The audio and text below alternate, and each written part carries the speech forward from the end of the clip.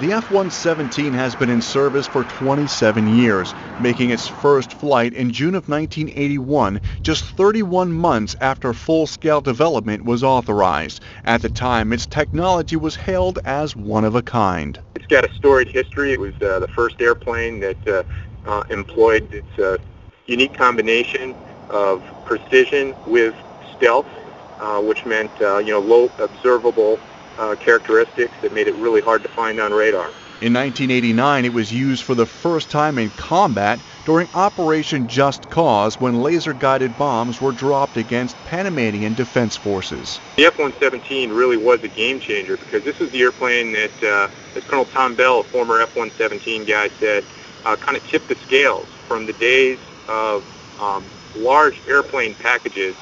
Many, many airplanes needed to take out a target to the point where one airplane could precisely take out more than one target.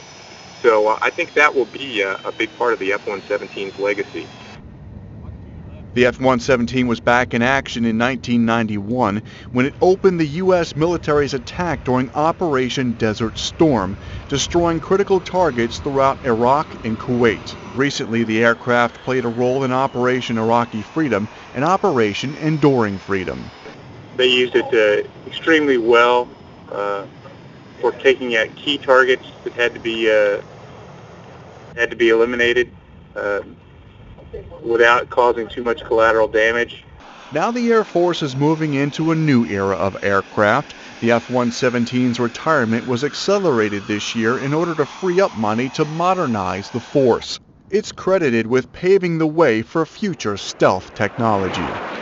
So we're sad to see it uh, retire, but uh, with its retirement, the Air Force has got new capabilities with the F-22 and Joint Strike Fighter, and of course we already have the B-2, great stealth technology, and uh, and now uh, when it goes uh, goes to bed at its original home, uh, we're going to go ahead and apply some of that savings to uh, recapitalize the rest of the Air Force. The last four F-117s will make their final flight on April 22nd. Air Force Master Sergeant George Maurer, Pentagon Channel News.